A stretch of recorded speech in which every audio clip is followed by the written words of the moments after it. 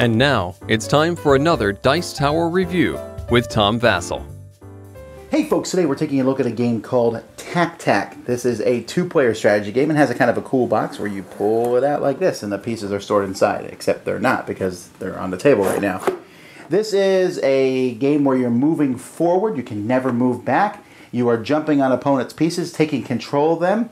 I'm not sure there's anything here that we haven't seen before in an abstract game, but maybe not in this combo. Let's see if it's fun.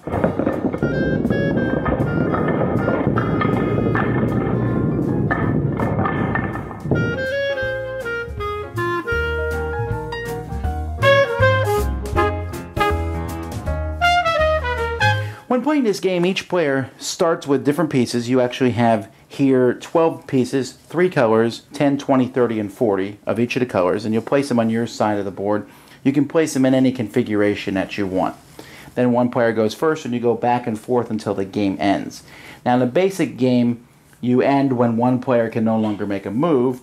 In the advanced game, which is what you should play, that's also a way to end the game, but more likely than that, when one player no longer has any pieces in the attack zone, the game is over. So your first move will be moving into the attack zone. After that, if you ever don't have a piece in the attack zone for any reason, the game will instantly end. Uh, so when a player goes, they can move their piece. The piece can move to the three spots in front of it. So this 10 here can move here, here, or here. You can move on top of another piece, and then those pieces are forever linked together, but you can only move on top of another piece if you are either the same color or the same number. So I can move this one here, this one here, or this one here because these two are 10s and this one is yellow. After that, you'll simply be moving things as a stack. You can jump on top of your opponent's piece by attacking them the same way if you are the same number or the same color. Now, you can only attack your opponent in the middle section while you can move into your own pieces on your own board. Again, the game is going to end when there's one player has no longer has pieces in the middle. At that point, your score is the total of all the chips in your opponent's section. So if they don't get some of their chips out, like these chips are now, those chips aren't going to they're going to score for you, and all the chips that you manage to get in there are going to score for you. Highest point total is the winner. Tak Tak is a very quick game, which I think is one of the strong points of it. Also, the quality of these chips is very nice. They're, they're sturdy plastic, they stack easy. It's easy to tell the colors apart. They put green but not red. Thank you for that. Um, I would have also probably done different shapes for the colors too. Like this one's in a diagonal. I would have put a circle around it again for ease of differentiating them, but not a big deal. Um, the 40 pieces are obviously your strongest pieces because you want them out of your zone and you want them in your opponent's zone. And getting a big stack and moving that into your opponent's area can be the difference between winning or losing. The game is sort of like checkers in a way where you'll move a piece and say, do you want to capture that piece? But if you capture that piece, then I'm going to capture the piece that you captured it with and go back and forth. And I think that's interesting. And I think if, even though you're not jumping pieces in this game, it does have a bit of a feel of checkers to it, where it's moving pieces and jumping on top, and you're basically just moving forward across the board. Uh, there's that, the, again, the advanced version, which I think should be the only version people play. The idea of moving a piece out of the middle and essentially ending the game, you just have to kind of remember. There's a tiny bit of memory on which pieces are on which stack.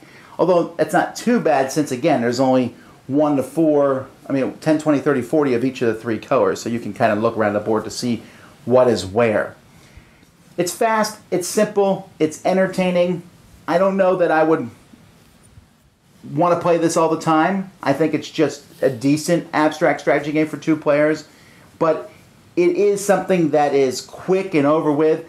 On my first initial play of it, I was ah, I don't really like it that much, but the second play I was like, oh okay, I'm getting it now. It's starting to make more sense, and I did enjoy the fact of how quick it was.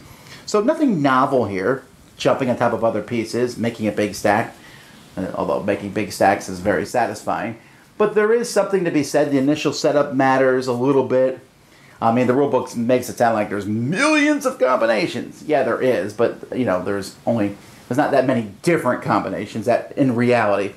but just moving across the board quickly at a pace, trying to outthink your opponent a little bit. As long as you don't take this game too seriously and play it as a lighter abstract game, I think you can have fun with it. That's Tak Tak. Dice Tower Judgment, approved.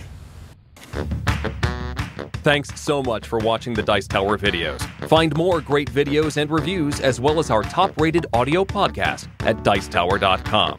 You can also find other great shows at Dicetowernetwork.com. I'm Eric Summerer, and you've been watching The Dice Tower. The Dice Tower is sponsored by Cool Stuff Inc., where you can find great games for great prices. Cool stuff in stock.